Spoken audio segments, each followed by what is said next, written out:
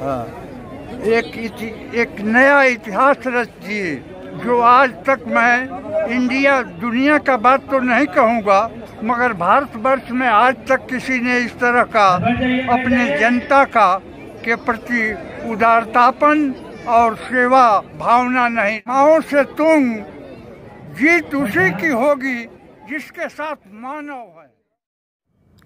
नमस्कार, मैं ज्योति और आप देख रहे हैं अपना लाइव डॉट न्यूज़ दोस्तों, आज मैं आप लोगों को एक ऐसे महान नेता, या यूँ कहे जनता के, नेता के बारे में बता रही हूँ, जिनका कार्यक्रम गोपालगंज ज़िले के में का लगभग नौ दिनों से चल रहा है। एक विधायक, जिनका नाम है अमरेंद्र कुमार पांडे, उर्फ़ पप्पू पांडे द्वारा आयोजित नागरिक सम्मान समारोह का आज नौवा दिन है, जिसमें हर्षोल्लास के साथ नागरिकों का जन सैलाब उम्र पड़ा है। आज के सभा को संबोधन करते हुए चौरासी वर्षीय कांग्रेस विचारधारा के वयोवृद्ध अभिभावक भोपाल मणि त्रिपाठी ने इस सम्मान समारोह के ऐतिहासिक, अद्भुत एवं अद्वितीय बताते हुए विधायक अमरिंदर कुमार पांडे जी को जनता के प्रति भावना को दर्शाते हुए इन्हें माओ सत्य तुम की उपाधि दी है, से नवाजा है।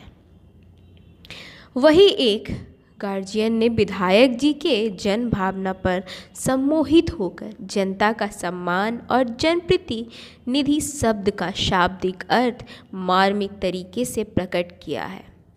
सभा को संबोधित करते हुए विधायक अमरेंद्र कुमार पांडे ने जनता के प्रति आभार प्रकट करते हुए उन्होंने कहा कि हमारा यह कार्यक्रम हर साल चलते रहेगा।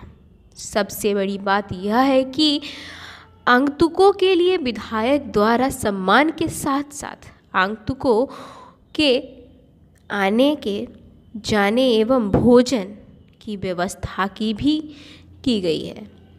सभा के अंत में विधायक अमरेंद्र कुमार पांडे के भतीजा एवं जिला परिषद अध्यक्ष मुकेश पांडे ने अपने संबोधन में कहा कि आज तक सम्मान समारोह का मतलब लोग यही समझते थे, किसी बड़े आदमी यानी नेता, मंत्री, डॉक्टर, इंजीनियर, आईएएस, आईपीएस का सम्मान समारोह होगा? लेकिन आज पहली बार किसी जनप्रतिनिधि द्वारा जनता को सम्मानित करने का कार्यक्रम देखा गया है जो आम लोगों के दिल में घर कर चुका है। विधायक जी के इस विचारधारा को मुकेश पांडे जी ने काफ़ी सराहनीय एवं अतुलनीय कहा है। दोस्तों चलिए। बताया जाए आज चौथा दिन है और कहाँ कहाँ के लोग आए हुए हैं? क्या क्या देखे आज आज नौवा दिन है।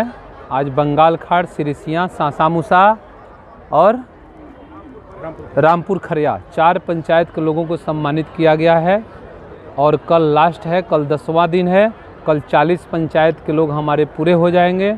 हम अपने स्तर से सबको गाड़ी घोड़ा भेजने का काम किया, भोजन कराने का काम किया, सबको सम्मानित करने का काम किया। चाहे जो भी हमारे अभिभावक हैं, जो भी हमारे छोटे या बड़े प्रतिनिधि हैं, जो भी हमारे माताएँ, बहनें, बुज़ुर्ग, बच्चे बच्चियाँ नौजवान साथी, हमने सबको सम्मानित करने का काम किया है और कल हमारा लास्ट है और फिर 2020 और 21 में ये सम्मान समारोह का कार्यक्रम होगा। अब हमने तो हमेशा बोला है कि हर साल ये चलते रहेगा।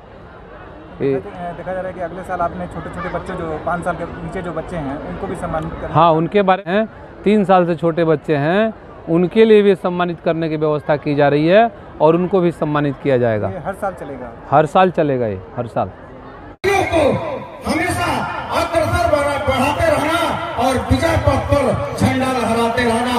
इसी के आमने के साथ हम लोग इस भगवती की फ़ोटो से, मूर्ति से आपका स्वागत करते हैं और स्वागत गान में एक लाइन मात्र, एक लाइन बोलूँगा।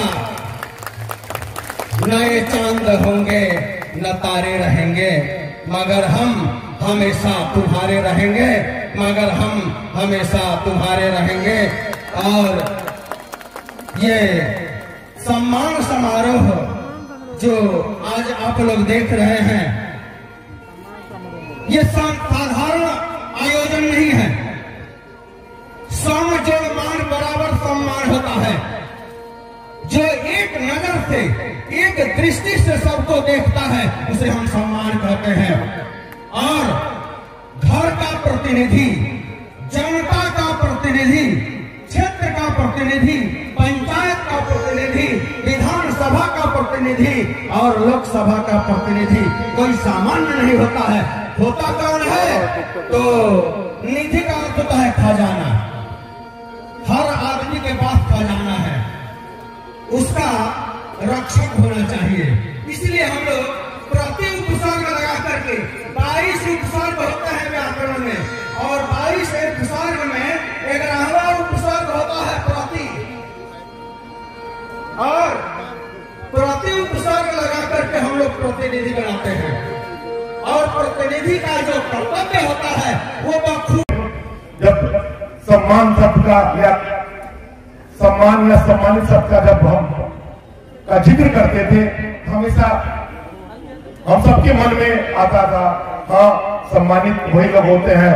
शायद वो कोई नेता होगा, कोई डॉक्टर होगा फलाना फलाना, या कोई बहुत बड़ा आदमी होगा मतलब सम्मानित तो लोग शुरू से ही होते हैं। लेकिन जब भी सम्मानित सबका या सम्मानित समारोह के बारे में कोई बात करता था तो यही करता था हाँ भाई, ज़रूर, क्यों? कोई नेता मतलब मुखिया, विधायक, सांसद, मंत्री, doctor, I S, P C S बड़े बड़े लोग होंगे मतलब ही वो सम्मानित किया जाता था। आज इस मंच पे एक एक नया इतिहास रच दिए जो आज तक मैं इंडिया दुनिया का बात तो नहीं कहूँगा मगर भारतवर्ष में आज तक किसी ने इस तरह का अपने जनता का के प्रति उदारतापन और सेवा भावना नहीं रखा। जो आज हमारे सामने अमरेंद्र कुमार जी ने रखा है। सर यही हम्म, इस तरह का अब कहा था एक बार माओ से तुम जीत उसी की होगी जिसके साथ मानव है। आप एक अपना एक छोटा सा परिचय दें। मैं भूपाल मणि त्रिपाठी कांग्रेस माइंडेड आदमी हूँ। मगर इन इनके सेवा भावना को देख करके मैं इन्हें बहुत मानता हूँ कि वैसा ही नेता देश में होना चाहिए कि जो जनता को अपना समझे अपना माँ बाप बोल करके लड़का बोल करके उन्होंने सेवा किया। आपकी उम्र कितनी हो गई बाबा? अरे एट्टी फोर। आपने बहुत दुनिया देखी होगी ऐसा नेता कहीं देखे बहुत देखा हूँ मगर इस तरह का कभी देखा जी के बारे में। अरे सर बिहार में पहला एक पहले विधायक हैं। जी। जो जनता का सामान कर रहे हैं। जी। ऐसे तो बहुत नेता लोग आए गए बहुत पार्टी आया और गया। माननीय विधायक पप्पू पांडे जी ने जो जनता के साथ जो सम्मान और बराबर का व्यवस्था जो दिखाया, काबिल तारीफ़ है। इसके लिए हम लोग अपने तन मन धन से आभारी आभारी हैं। इस कंजुएंसी के लोग भी बहुत खुश हैं इनसे।